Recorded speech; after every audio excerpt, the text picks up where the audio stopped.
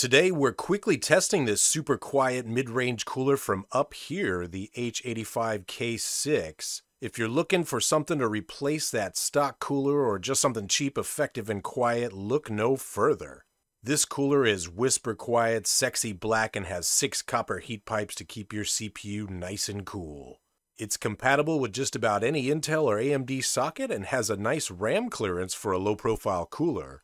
The fan is enclosed and beautiful. Installation was easy with minimal hardware to deal with. I got this on an AMD board in minutes. Now, with some MX6 thermal paste applied, let's give this a heat test. I'm using an 8 core 16 thread AMD Ryzen 4700G at 4.4 GHz for our test processor. It draws about 80 watts max. The cooler's rated for 180, so we'll see how it goes.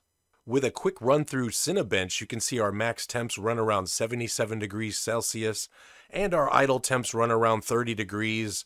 Not bad at all for a cooler that I can barely hear running.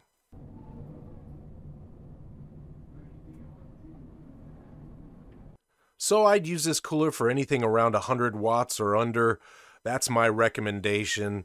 This is a quiet budget cooler with nice aesthetics and a good price. I'll put the link in the description below. Thanks so much for watching. Be sure to hit like and subscribe. Goodbye.